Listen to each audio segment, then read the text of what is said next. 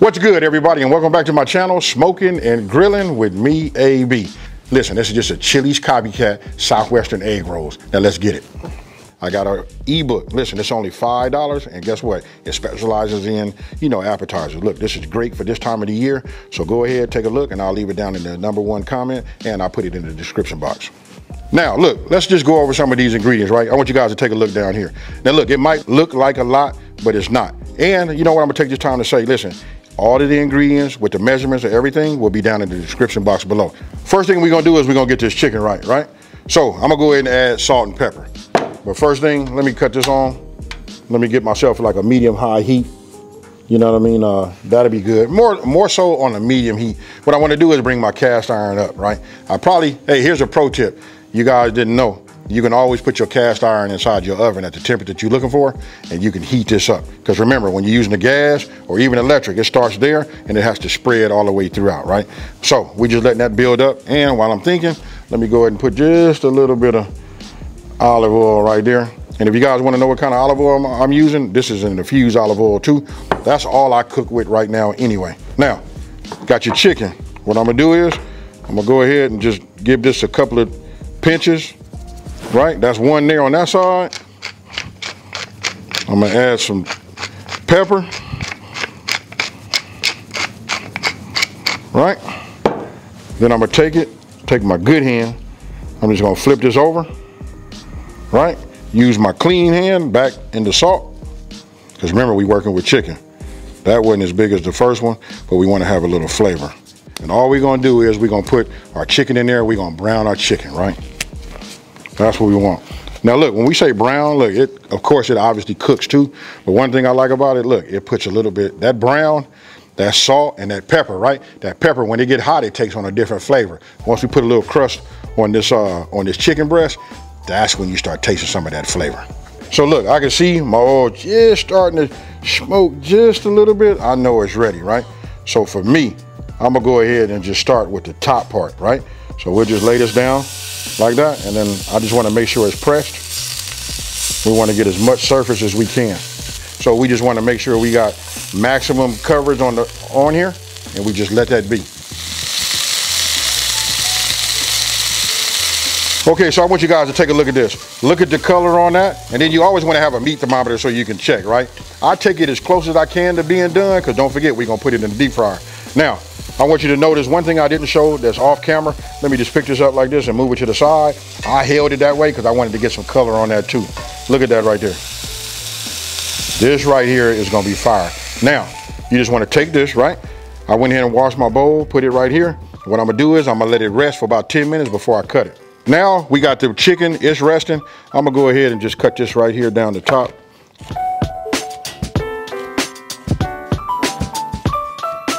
So now we'll just go ahead and do the same exact thing, right?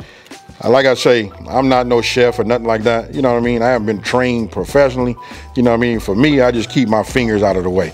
Really, I just take it, rock it back and forth, cut just a little bit out like that, and that's how we get it. For me, every time I go to the market, you know what I mean? I'll always get green onions so they be the freshest. When you have them like this, you guys can get yourself a like a mason jar, put some water in there, put this in here, and let them start sprouting. For me, I like to cut them all the way down to there. Listen, they bring new life. Then when you're done, if you plant them, you do that three or four times, now you got a garden full of green onions. It's been 10 minutes. Actually, it's probably been about 12 minutes. So now what we want to do is we want to just cut these down, right? So I'm going to go ahead and just, you know, cut these.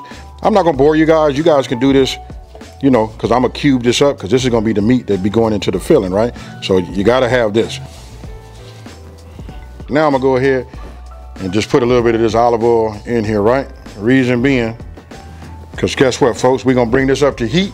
And then what I'm gonna do is I'm just gonna saute my bell pepper. I just wanna soften these up, let them be on the way to becoming, you know, translucent.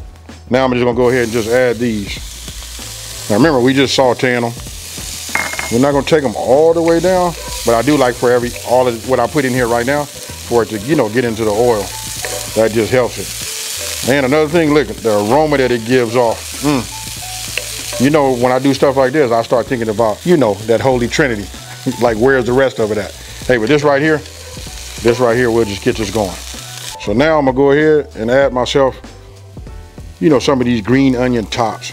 I'm not gonna cook these all the way down, you know. We just do it like this. Just let them soften up just a little bit, that's all. Now, I'm gonna go ahead and just add my chicken. Now it's up to you how much chicken you put in here. You can see that my breast was, you know, sort of big. But right now, we're just gonna cook this. Now remember, we cooked it. I didn't really fully all the way cook it, but now you understand why. Because for one, we're gonna go ahead and we're gonna put this in the deep fryer, right? And then two is, we got it right here. You know what I mean? So it's gonna start cooking, heating up, and doing this thing from here. But look at that, look at all of the colors we got.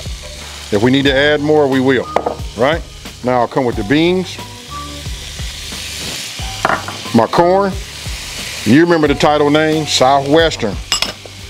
Spinach. Jalapeno. Right, I'm gonna just give this a stir first. Now we got that, now we finna come with this parsley. Just give it like a couple of tablespoons, you know what I mean? That should do it. Ah, extra little pinch. Can't harm it.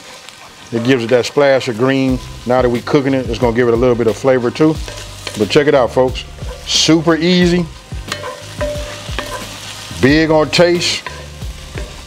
And check it out, it's one of my favorites. You remember we had seasoning, right? Now I'm gonna go ahead and just sprinkle this in here. And this is what's gonna tie it all together, folks. Now I'm gonna let this cook for about, uh, I'm gonna say about five minutes once I get everything, you know, married together. And after five minutes, then we're gonna go ahead and roll them up. And then we're finna get this deep fryer. We're gonna bring that up to temp and we're gonna move from there. If you look at this, or you ever had the Southwestern, you know, egg rolls, you know, from Chili's, look at how it looks right here. You see how it's real soft, the spinach is nice and ready. This is what you wanna look for. Mine, I wish they did make them, you know, this meaty. So look, I'm gonna go ahead and turn my heat off, right? You know, don't forget we had some cheese. Let me just spread this out just like this. I'm gonna take my cheese and we're just gonna go ahead and just add this just like this. Now I kinda like spread it out because I don't wanna work with no clumps, you know? So just a little bit like this. I used about half of it, you know? And we're just gonna let the heat, right? The heat from the pan and the, you know, the filling, just get everything to mix and start tying everything together. You see how it's disappearing? That's what you want, folks. Then you can see all the lines of cheese, you know it's melting. But this right here, ah, now it's coming together. Now we just add the remainder, right? And we just go like this. And guess what, folks? We about three quarters of the way done. But this is what you want to get. And if you had the luxury to ever go to Chili's, which I like, by the way, I'm to be making a lot of their recipes anyway. Listen, you have the luxury going there, then you know that this right here smells incredible. And you know, I got several recipes where I do the Southwestern style, especially on the egg rolls. As our deep fryer is coming up to temp, this right here is just settling in, you know, real nice. What I, I'm gonna give you guys the real truth. I've been trying not to eat so much of it. You know what I mean? So now look, get yourself a bowl. Remember I told you guys this is really a dump and go. I'm not gonna show this all to you, but I'm just gonna show you, just tell you one thing. You put all of this in there, and mix it all up. You're gonna use half of an avocado. Once you got it all mixed up, now you got avocado ranch. It is truly just that easy, folks. Now I'll cut the avocado up and then we'll move from there. Okay, so look, as you can see, this is it.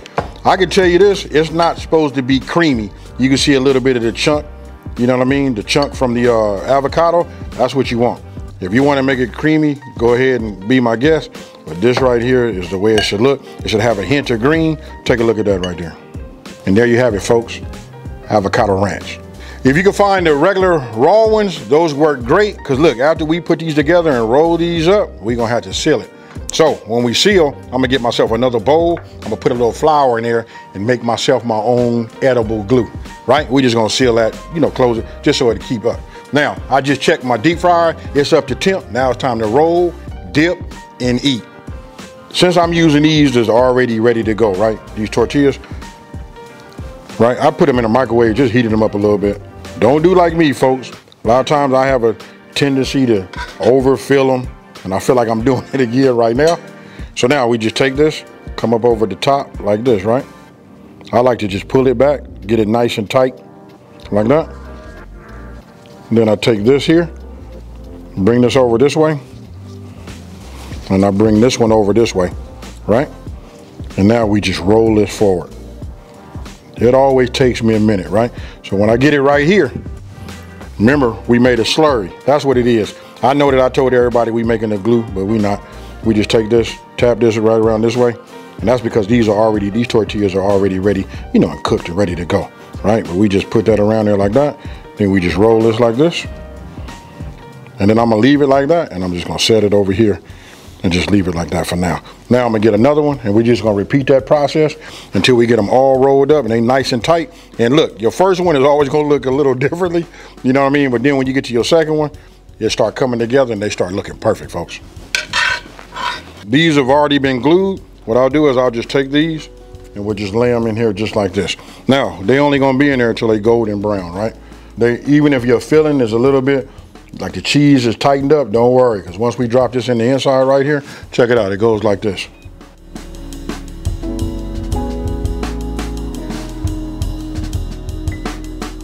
So look, as you can see, look at this color. You just cook these till you get the right color, right? So I'm just gonna put these on a paper lined plate. Those are nice right there.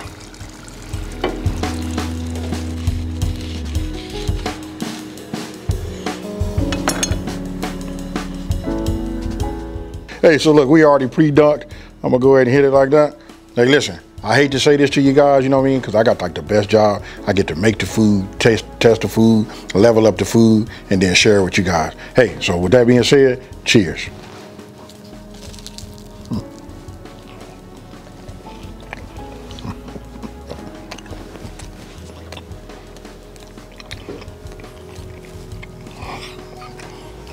I can't quit laughing, folks.